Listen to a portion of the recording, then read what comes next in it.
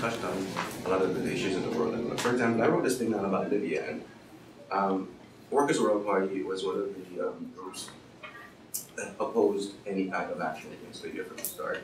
We thought the no-fly zone was a was going to be uh, was an act of war, and it turned out that, that it was.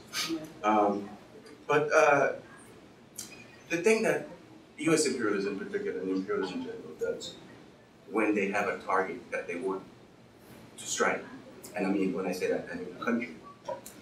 What they do is they demonize either an individual or or a group within that country, a ruling group, or a religion within the country, or something, and they get the U.S. population on board that way because we don't do a lot of research. General, we don't do a lot of research. We accept stuff. Yeah. We accept all this nonsense that we hear, and from from all these you know talking heads on television, for example. And we heard about how terrible Libya was. Um, there's just one little thing I want to say about Libya. If you're a Libyan citizen, or not not, if you were a Libyan citizen a couple years ago, you had free education in any university if you qualified. Uh, you know, but if Libya did not provide the service that you need, because they, they weren't as developed as say the West. Libya, this is what they did with their oil money, this money that the, the press basically talked about as if it's Gaddafi's money, right? And they do that. If you were a student and you graduated from your, yeah, you got your master's at some school in Tripoli, and now you want to do uh, something in, and, and it's only offered at Stanford University in California. If you apply for a visa, you can get it to come here. Libya would pay for your schooling at Stanford. And they would give you an allowance for you to take your whole family and live in, Cal- in, in, in, in Palo Alto, a very posh area, it's not cheap, until you finished your education. And you know what most Libyans did after they did that? They went back home with these skills and they built Libya. Libya, I said I was going to do one thing, but I get my Libya was behind, um, spearheading a bank, an independent bank, to counter the, uh, the abuses of the World Bank and the IMF to lend money to African countries to help them develop. That was, it was going to be a, an African bank, it wasn't going to be a Libyan bank, but they were going to put the most of the money. Um, and, and, and, this is the, the person that we were told who was, and I have to repeat what was said.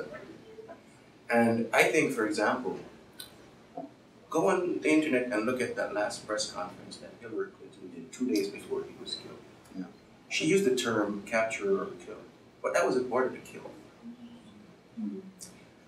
The U.S. military has taken this new tactic. They're not, they don't want to take prisoners of people who can expose them. I think that's why Osama bin Laden, no matter what you think of him, was, was killed the way he was. He could have been captured. Um, the United States was, uh, the, the, the embarrassment didn't go very far, but some of us know about it. In 1999, the United States attacked Yugoslavia based on also some demonization and lies. Um, there are a couple of books you can look at to, to, to get the flavor of this. Um, Liar's Poker is one, I forget the name of the author, and a book called Hidden Agenda. And that deals with the background. But I think a really important book. Now, Milosevic, Slobodan Milosevic was the leader, was eventually um, uh, arrested and held at the um, War Criminal Court. And his trial had actually started. And the only thing I think that happened was the opening remarks. If he died in prison, there might have been some funny things that went on. Maybe, maybe even, you know, something. He was really sick, so he might have died from that. But there were some accusations and medicines were. That's what. But the thing that's important, I think, there's a little pamphlet called The Defense Speaks, which is just the opening remarks that he gave in his defense. Incredible. And it exposed a lot about how the West and the imperialist powers fomented war. And they didn't want it. They don't want that to happen. So there are going to be a lot of. You saw what happened to um, um, um, Saddam Hussein. That was a, that was a, that, that was, really good, and they made sure that was done public. They wanted people to see that, and the U.S. was behind that.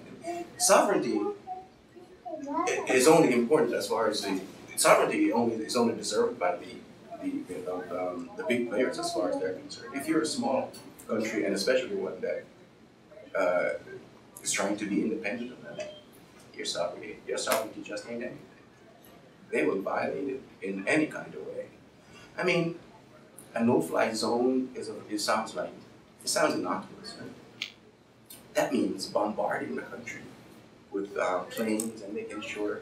And, and, and it's not just bombard. It's not just trying to fly around and make sure nobody comes above the ground. It's destroying everything on the ground that can fly. That, that's how they see a no-fly zone. A no-fly zone is blowing up the military of the country.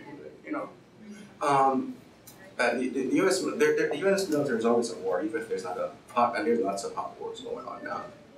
But um, embargoes are wars. When you stop a country from being able to feed its people, that's war.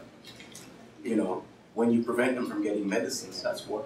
After the after the assault on Iraq, um, they, they weren't allowing in all kinds of things.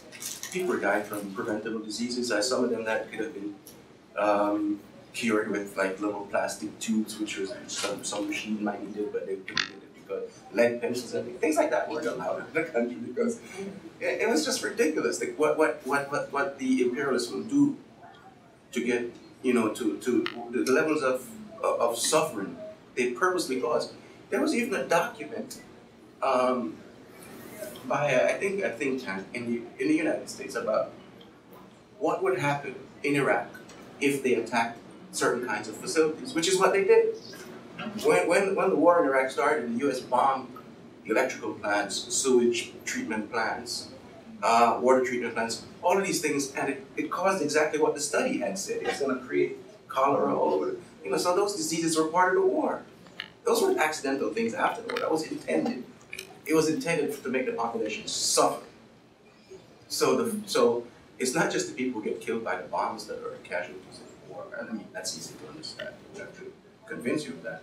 But it was also very, very intentional. The the raiding of the um, the libraries in Iraq was intentional.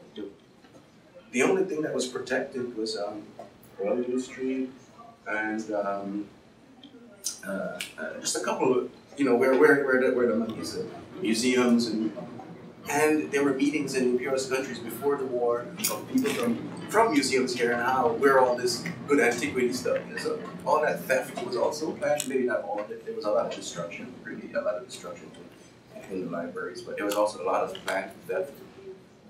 You know, some of the atrocities, some of the things that happened, at the little side. You know, we talk about when, when we talk, we talk in general terms a lot. But when you look at some of the actual specific deeds that have been committed, you know, the depravity of, of, of, of capitalism is, is depravity is a strong word. you know, it's sickening, man. Um, so I think I'm, I'm, I'm, in a, I'm in a lot of different directions here. So stop.